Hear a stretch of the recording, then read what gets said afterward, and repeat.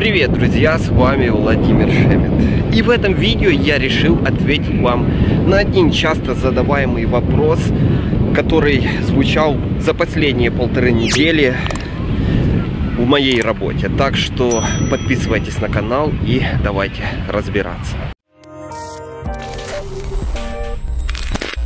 А вопрос был по горящим турам в Турцию, друзья. Да, очень Турция горела. Даже несмотря на то, что поехала Россия, цены были очень низкие. Можно было отдохнуть за 10,5, 11, 12, 13 тысяч на неделю вдвоем в Турции на все включено. Да, друзья, это было просто огонь.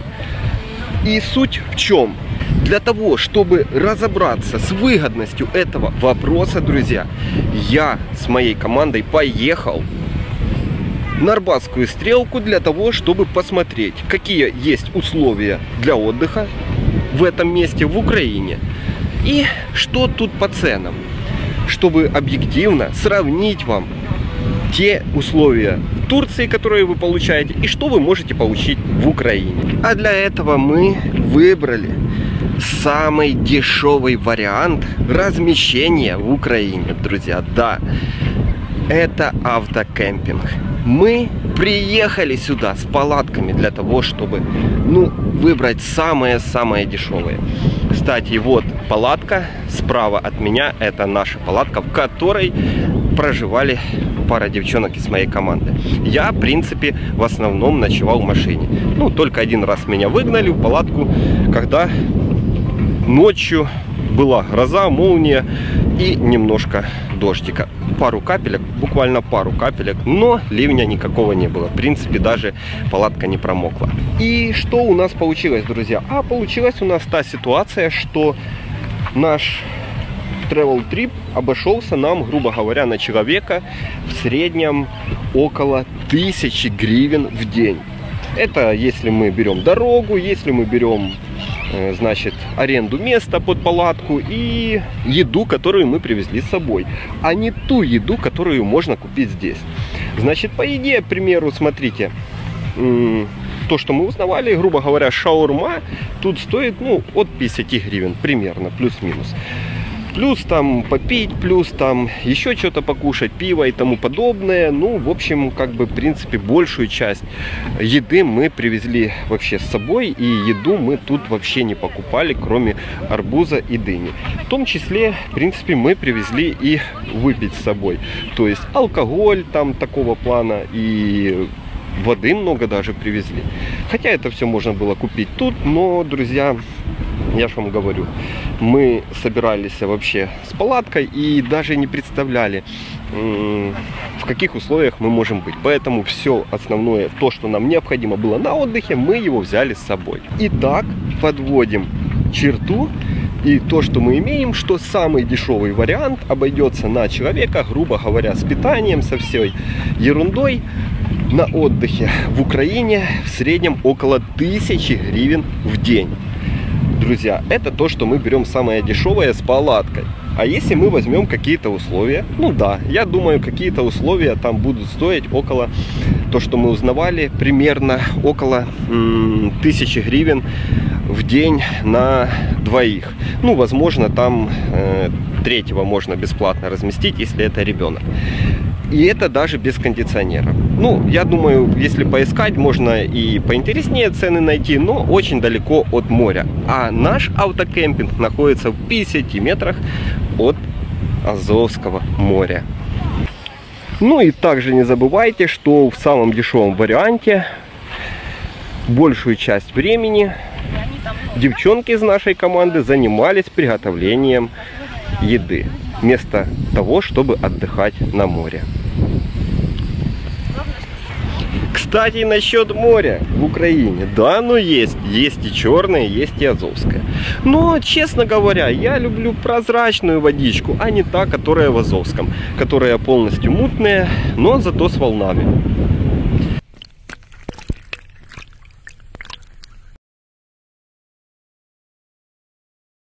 Пляжи. Пляжи, друзья, это самое слабое место на Азовском море. По крайней мере, на Арбатской стрелке, где постоянно куча водорослей и медуз, которые жалятся достаточно сильно. Допустим, я, чтобы сфотографироваться с медузами, пожалил себе очень так себе, ну, не слабенько руки. Но я же говорю, медузы это в принципе второстепенное, а вот то, что на пляже куча черных вонючих водоростей, это, конечно, мне не очень нравится, да и остальным членам моей команды. Хотя я смотрю, многие отдыхают и не беспокоит их этот вопрос. Но лично мне эти водоросли на пляже очень-очень неприятно и некрасиво выглядят. В том числе и если это общественный пляж, то фотографии у вас получится, естественно, с окружающими вас туристами. А что же мы можем получить за 11, 12, 13, 14, 15 тысяч в Турции, друзья? А вы получаете all-inclusive. All-inclusive в виде все включено. То есть у вас сюда входит перелет, у вас входит сюда проживание, по системе питания все включено, завтрак, обед, ужин, напитки местного производства, безалкогольные, в том числе и даже какие-то алкогольные все равно будут даже в самом дешевом варианте.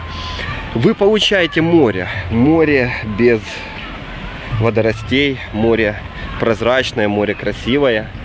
Вы получаете 2-2,5 часа перелета туда и обратно, друзья. И трансфер в ваш отель из аэропорта в Турции.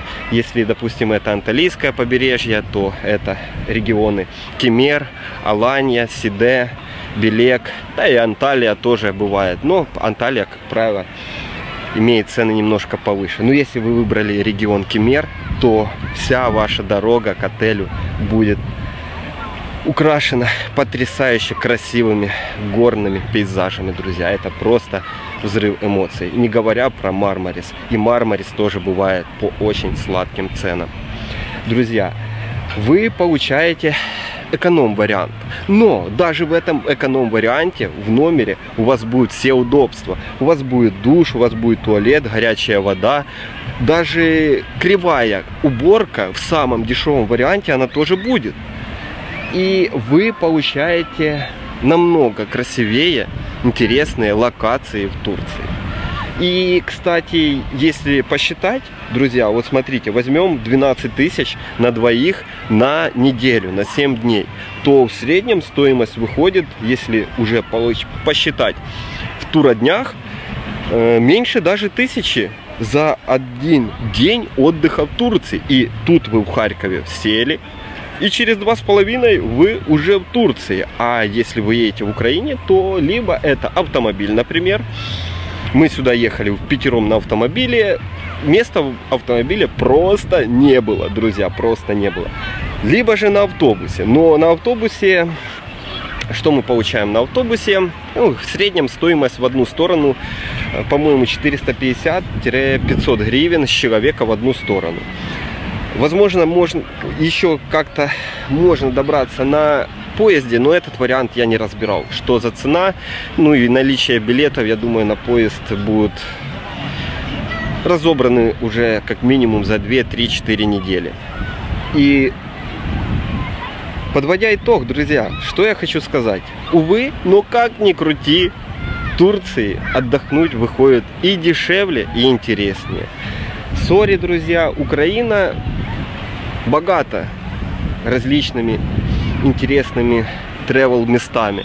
Но это travel места для путешествия, а не для отдыха. Мы посетили Розовые озера и мне это понравилось. Касательно отдыха, по отдыху я его рассматривал только в качестве примера и разобрать и показать вам, что вы можете получить в Украине и что вы можете получить, например, в Турции. Почти за те же деньги и даже дешевле. В общем, друзья, я вам показал, разобрал суть этих цен на отдых в Турции. Я вам показал, как выглядит отдых в Украине за эту цену и что вы можете получить в Турции за эти 10-15 тысяч самых дешевых туров. Отдельная тема будет по отелям, цена-качество, это отдельная тема. И если вы хотите знать все нюансы с отелями, цена-качество, обязательно пишите в комментариях. И я для вас запишу это видео и расскажу, почему же они отличаются в цене от самых дешевых.